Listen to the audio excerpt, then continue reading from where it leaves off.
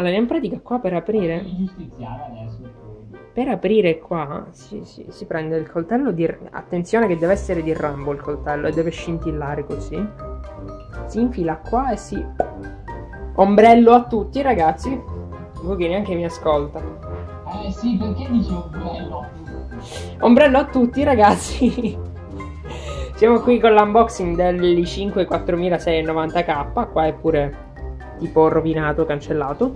Ma non fa niente. Ho comprato questo processore, quindi passando da AMD, di cui sono un utente fiero per, per il prezzo più che altro, eh, da AMD a Intel, quindi il colpo al lato blu, quindi il colpo è stato tipo BAM! Ho comprato questo, ma è stato comunque un pugno in un occhio, un pugno nel portafoglio dell'occhio, ne- nell'occhio del portafoglio. Eh, però diciamo sono contento anche perché immagino, credo, ho letto, mi pare, spero, sia il top tra gli 5. Se avete notato che questo qua è l'i5 4690K e quella è la scheda madre che ho comprato dell'H97 piuttosto che la Z97, vai all'unboxing di questa. Comunque, eh, se avete notato questo è perché ho praticamente cambiato il processore alla fine del- per il fatto che mi costava meno questo piuttosto che l'altro su Amazon. Questo l'ho preso da un'altra parte. Siccome mi costava di meno questo, eh, non mi sono ricordato di andare a cambiare la scheda madre io furbamente, quindi mi è rimasta l'H97. Ho il processore overclockabile mentre la scheda madre non lo consente. Però per il resto funziona tutto a posto. Ora leviamo qua il supporto per tenerlo piegato.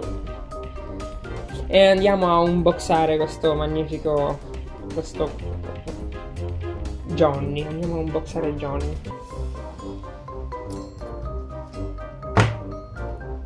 Questo coso si dovrebbe tagliare. Ok, oltre che tagliarsi si è pure tolto completamente, quindi. Quindi perfetto. Andiamo ad aprire. Ah, ovviamente io prima di aprire non ve lo farò vedere perché non ho parlato di ciò che c'è in giro. Intel Graphic 4600, non so neanche qual è o a quale corrisponde, comunque ci metterò una Radeon grossa così. Ehm, è un quad core a 3.5 GHz con 6 MB di cache. Eh, boh, poi che altro, non lo so, c'ha la scheda video integrata, come vi ho detto prima. Il chipset LGA 1150, Woody ancora non ha capito che, che è davvero 1150, infatti era sbalordito. Poi è curioso il fatto che ogni volta che c'è scritto Intel c'è pure la R qua. Sì, vabbè, marchio registrato, ok, però è una cosa, cioè, ormai è risaputo, cioè. Poi una, ci basta una volta. Intel R, Intel R, Intel R, Intel, Intel RR. Ah, qua sotto pure in altre lingue, nel caso cioè, c'è in greco se vi interessa. Però pure qua R. In giapponese R. Andiamo ad unboxare questo processore. Ed eccolo qua magicamente. Questo è il dissipatore, nuovo modello in cartone. Bene, questo lo andiamo a vedere dopo perché è emozionevole. Mentre comunque qua c'è il man- non, non vedo che cosa ci possa essere in un manuale di, di un processore, però sì, qua c'è il no, sono i nuovi processori lamellari. Qua questo coso non si può aprire, io mi sa che dovrò fare un bordello.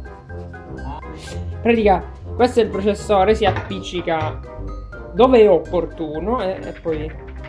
PAM! Se volete vedere l'unboxing del dissipatore, cliccate su questo brutto dissipatore.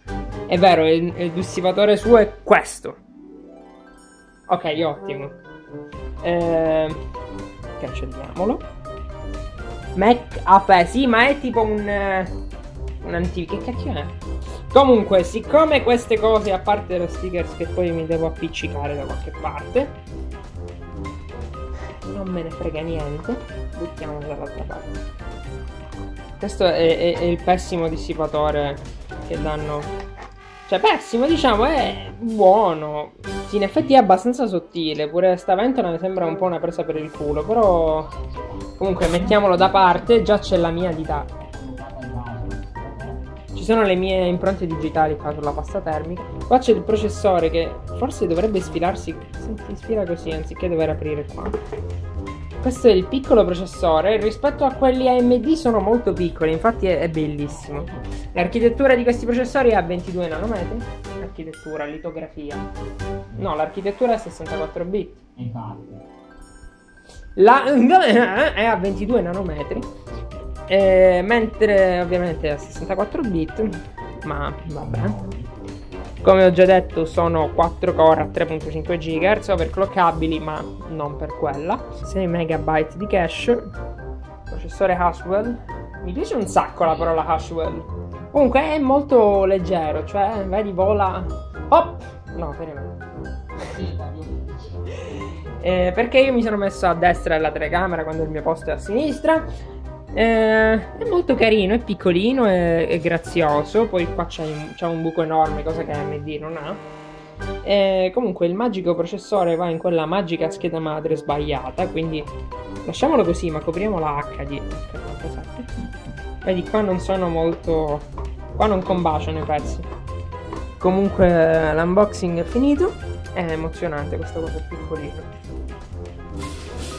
comunque c'è tutta una plastichina misteriosa che noi gatti non sappiamo di cosa sia fatta.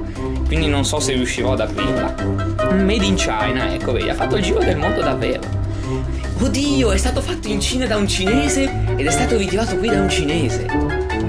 Il destino. Il destino! Torniamo al dissipatore.